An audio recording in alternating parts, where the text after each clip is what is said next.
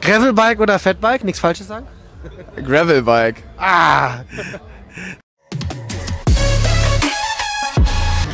Hi, ich bin's mal wieder, Marc, und wir sind heute hier auf dem Bike Festival in Willingen.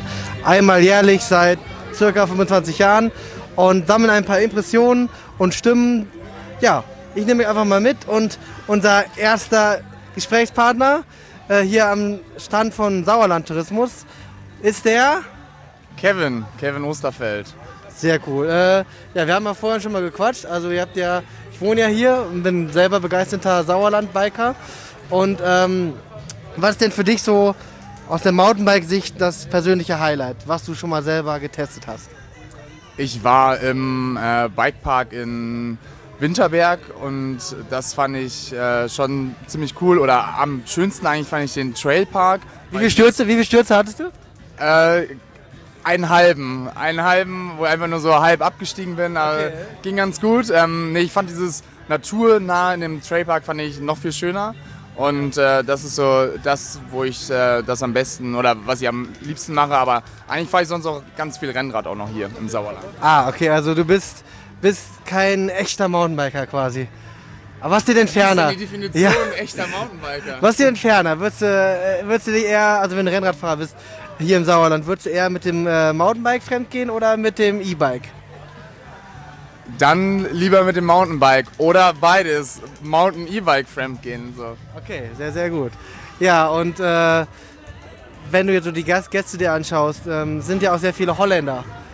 Wie ist das denn so klischeemäßig? Äh, Ist da was dran, dass die eher so, ja auch eher so fitnessmäßig unterwegs sind oder was habt ihr da so für Impressionen? Weil man sieht ja immer nur die Nummernschilder und denkt sich, okay, das war wieder ein Holländer. Äh, ja, mit den Niederländern, äh, jetzt hast du natürlich genau den richtigen getroffen. Du wusstest wahrscheinlich nicht, dass ich der niederländische Meister bin im Sitzvolleyball. Und deswegen habe ich ja schon dahingehend, äh, trage ich seitdem auch sehr viel, ich kann erstens kommunizieren mit denen und trage auch sehr viel Orange. Und von daher ist das, äh, Okay. eigentlich äh, kann ich jetzt ja seitdem da nichts mehr gegen sagen. Sondern Ihr seid vom Tourismus, ihr seid schon froh, dass sie da sind oder denkt ihr so, wenn mal ein bisschen weniger äh, Zustrom ist, wäre es ein bisschen ruhiger oder seid ihr da eher froh, dass, dass äh, das Sauerland quasi die, die Alpen für die Niederländer sind?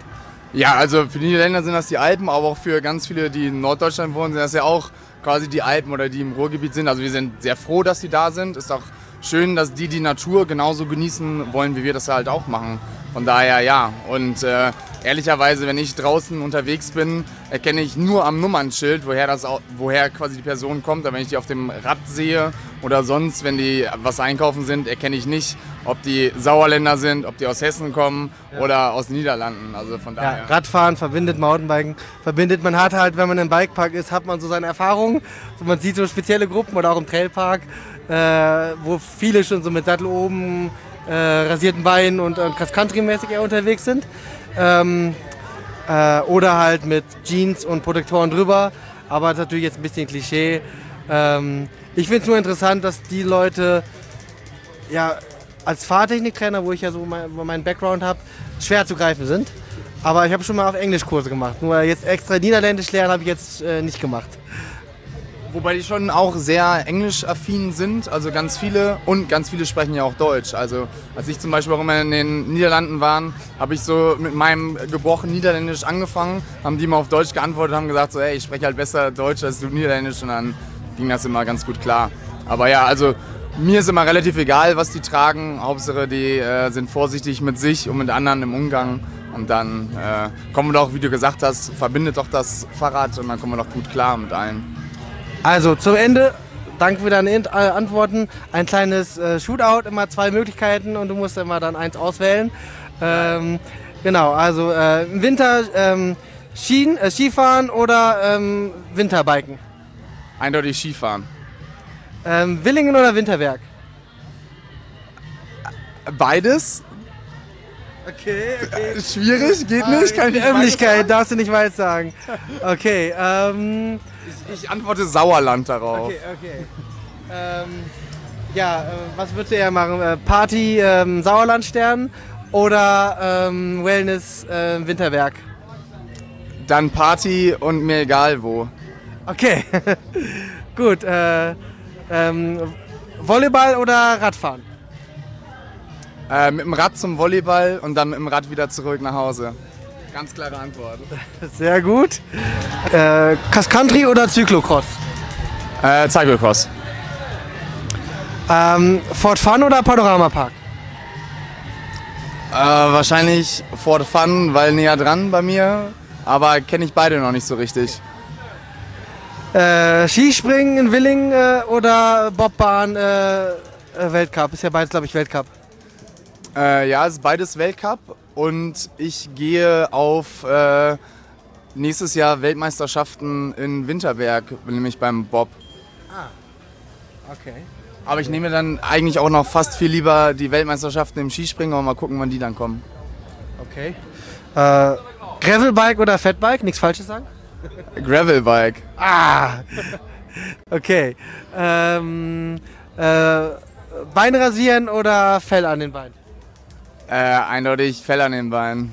Okay, ist ja untypisch für, für Rennradfahrer. Ja. Ähm, okay, ähm, muss ich nur überlegen. Das ist mir zu aufwendig. Ja, das äh, sehe ich genauso, sehe ich genauso. Ähm, ja, Winter hast du ja schon gesagt. Ähm, ein Trailcenter oder Bikepark? Trail Center. Ähm, wenn du jetzt mal irgendwo anders spionieren willst, äh, Harz oder Pfalz? Dann würde ich die Pfalz nehmen. Ähm, Österreich oder Schweiz? Österreich. Okay. Ja, cool. Jetzt muss ich noch eins ausdenken, was irgendwas mit Sauerland zu tun hat und dann. Äh, Darf ich noch eins zurücknehmen? Meine Antwort von gerade, Österreich oder Schweiz? Ja. Ich würde Tschechien nehmen. okay. Ah, wegen den Trailcenters, Ja. die es die da gibt. Okay. Spannend, spannend. Okay. Ähm, Im Winter Indoor-Training oder ähm, Outdoor-Schinderei bei jedem Wetter? Outdoor-Schinderei bei jedem Wetter. Sehr, sehr gute Antwort. Ja, kann ich mich eindeutig mehr zu motivieren, als drin zu machen. Und, also ich habe auch Rolle und bin auch drin auf der Rolle ein paar Mal gewesen, aber ich finde es viel, viel cooler, rauszukommen und draußen zu machen. Und dann muss halt nur die Aktivität, also die Anstrengung zum Wetter passen und dann geht das sogar bei Minusgraden. Äh, Ener Energieriegel oder Gel? Äh, Energieriegel. Okay, super. Dann danke ich dir und äh, nächstes Event, wo, wo seid ihr zu, anzutreffen? Wir sind äh, nächstes Mal bei den Gravel Games in Herten. Sind wir da. Und dann natürlich gerne wieder nächstes Jahr hier in Willingen beim Bike Festival. Super, ich danke dir. Ich danke dir auch. So, jetzt sind wir am Stand von der DIMP, die Deutsche Initiative für Mountainbiken. Also quasi die, die sich beruflich, äh, auch äh, lobbyistisch für die, unsere Rechte einsetzen, Wege, ähm, Wegerecht und so weiter. Und wir haben hier den Heiko. Ja, und äh, meine Frage an dich, äh, das wievielte Mal bist du schon hier im Sauerland? Hallo Marc, also nach der Corona-Zeit jetzt das erste Mal, aber vor Corona, ich habe nachgezählt, fünfmal schon Bike Festival Willingen und davor privat auch schon mal Winterberg Willingen. Also ich glaube, ich bin schon Stammgast hier. Äh, Welche, welchen, welcher Bike-Gattung oder so kann man dich zuordnen oder äh, mischst du das wild? Früher eher so Richtung Cross-Country-Marathon, heute schon noch mit dem 29er Hardtail auf einfachen Single-Trails, würde ich sagen. Okay. Äh, Vario-Stütze oder Sattel oben lassen? Ich habe das Sattel noch tatsächlich oben, wenn es ganz steil wird, muss ich halt den Schnellspanner lösen. Okay. Und äh, fährst du in Baggy-Hose oder Lycra-enge Klamotten? Ich war lange in Lycra unterwegs, aber mittlerweile habe ich sogar zwei Baggies im Schrank. Okay, super. Ähm, du setzt dich ein für, äh, für offene Trails, ähm, für die Belange von Mountainbikern, die sich Strecke bauen wollen oder legalisieren wollen. Ähm, von den ganzen anderen Lobbyistengruppen, Forst, Jagd und so weiter. Wer, äh, wer sind denn die nervigsten und hartnäckigsten? Naja, nervig wollen wir jetzt nicht sagen. Aber ich sag mal, hohe Widerstände kommen eher aus dem Bereich Naturschutz und aus dem Bereich Jagd. Während mit den Wanderern haben wir zum Teil schon Kooperationen, gemeinsame Wegpflege. Und auch mit dem Forst spüre ich schon eine Offenheit, auch im Tourismus ist eine Offenheit. Aber ja, das Thema Naturschutz, Klimawandel sehen wir natürlich alle, das ist schon stark. Wenn du dir so eine, eine Top 3 machen würdest, äh, in welchem Region, Bundesland äh, die Feindschaft gegenüber ähm, Bikern äh, am größten ist, äh, äh, gibt es da irgendwie so ein bisschen deine eigene Statistik oder ist das bundesweit gleich verteilt?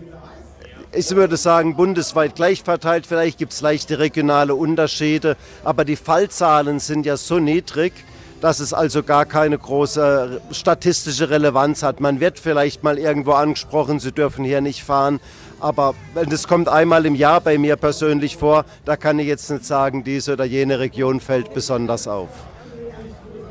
Okay. Äh, urbane Region oder welche Stadt hat für dich denn Vorbildfunktion in Deutschland für andere Städte? Sie gucken und sagen, sowas sollte es bei uns auch geben. Ja gut, hier nennen wir natürlich immer Freiburg, die schon 10, 15 Jahren mittlerweile jetzt, glaube ich, sechs, sieben Strecken haben. Aber in Koblenz ist zum Beispiel ein tolles Projekt entstanden, wo die Gemeinde die Strecken betreut und die Mountainbiker einfach nur mithelfen. Okay. Während, und mein schlechtestes Beispiel derzeit vielleicht ist am Stuttgart, wo wir seit zehn Jahren dran sind, was auf Legales auf die Beine zu bekommen und es da ganz stark am Naturschutz hängt. Ja. Aber es gibt viele andere Projekte. Neumark in der Oberpfalz hat der Deutsche Alpenverein gerade ein neues Projekt am Start. Start. Also wir merken, die Gemeinden werden immer offener fürs Thema. Ähm, äh, wie ist das denn, äh, wenn man sich die Städte anguckt? Manche Leute wollen ja quasi äh, sagen, okay, die, äh, die Biker kriegen ihre vier, fünf Trails und damit sollen sie glücklich sein, aber auf den anderen Wegen sollen sie uns in Ruhe lassen. Und manche Biker sagen so, eigentlich wollen wir ja lieber überall fahren dürfen und äh, nur an einem Berg drei Trails haben ist doof. Was strebt denn die DIMP eher an oder was hat sie äh, erfahrungsgemäß mehr bewährt?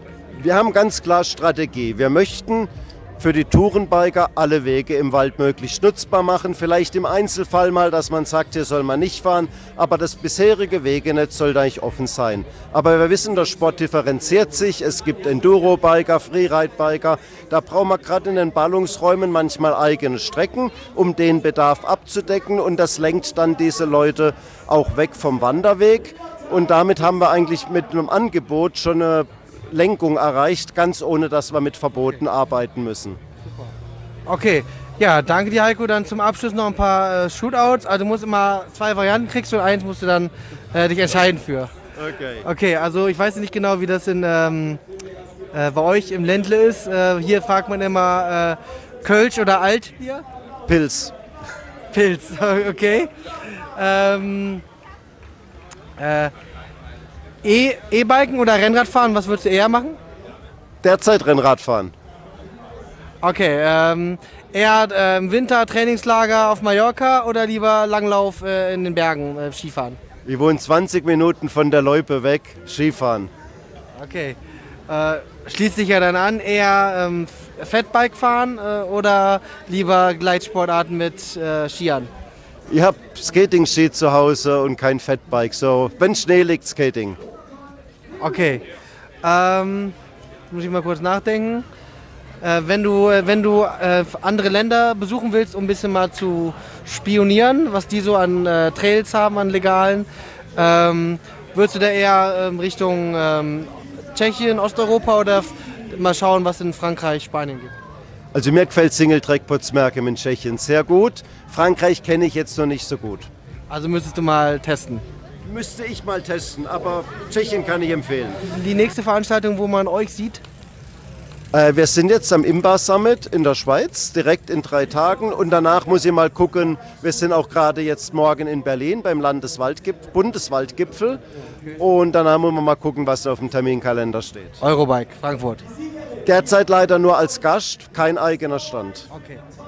Danke dir, Heiko, und dann frohe Heimreise und viel Erfolg mit den anderen Waldlobbyisten. ja, Marc, und dir auch viel Erfolg mit deinem Fahrtechnik TV. Ciao. Ciao.